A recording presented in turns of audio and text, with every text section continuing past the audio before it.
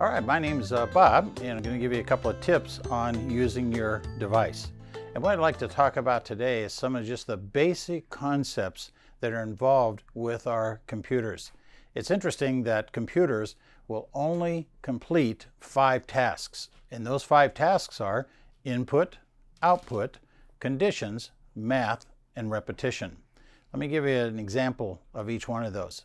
So in the case of input, I need to use my finger in order to tap on the screen. So if I want to open up my clock, I can tap on the clock and my alarm clock opens up.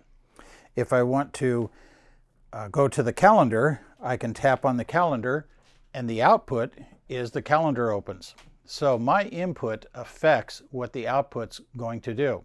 If I'm listening to a song and I bring up music, when I bring up the music, then I'm expecting the sound to happen. Now, if I don't hear the sound, I need to find the correct button to be able to increase the sound.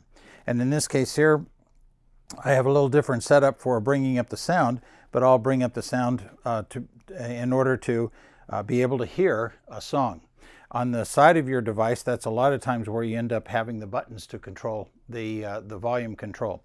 So input is very important because normally you're going to be tapping or touching the screen to be able to accomplish that. Now another way you can have input is through the microphone. So if you activate the microphone, as an example, we open up our web browser and when we go down here to, um, uh, to our device, we'll see that we have a small little microphone icon. And that small little microphone, if I tap onto that, that then activates the microphone. I will say what it is that I'm searching for, and then I'll turn the microphone off, select search, and it will go out and find. It's the same thing that I'm doing when I'm typing something in. It's just that I'm using my voice to be able to activate it. So my voice can be input and my touch can be input. Now every time you touch or have the voice, you expect a certain output.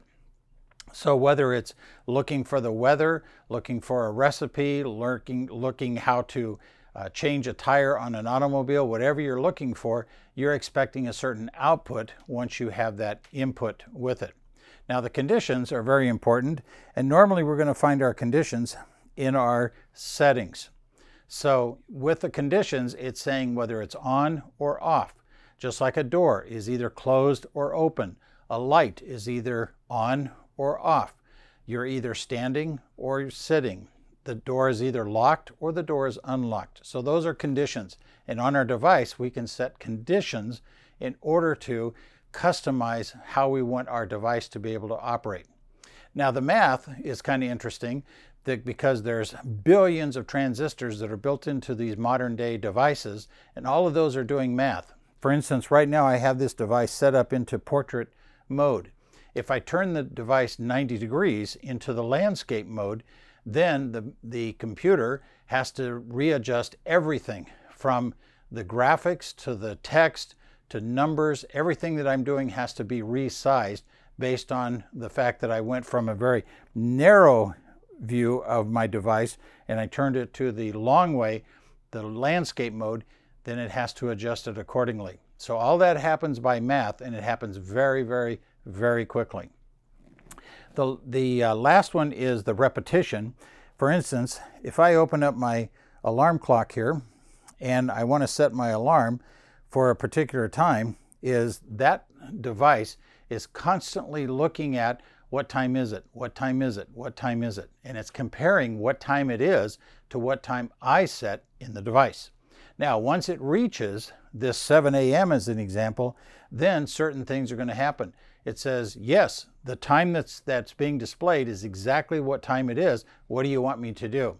Well, because of conditions, and I'll show you by editing that, I'll open that up. I put in here a label as class. So I know that I need to be going to class when I set that alarm. I also selected what kind of sound that I wanted with it. And if I want to change that sound, it's got that arrow that's pointing to the right. I'm going to tap on that arrow and I can put any kind of sound that I want. So I can customize what sound I use for setting my alarm clock. That way when the alarm goes off, I know Is this time to get up? Is this time to go to class? Is this time to go to work? Is this time to meet somebody? I can customize the sound that I need. So the input, the output, the conditions, the math, and the repetition, those are the five things that our device will do. And that's what makes our experience a very positive experience.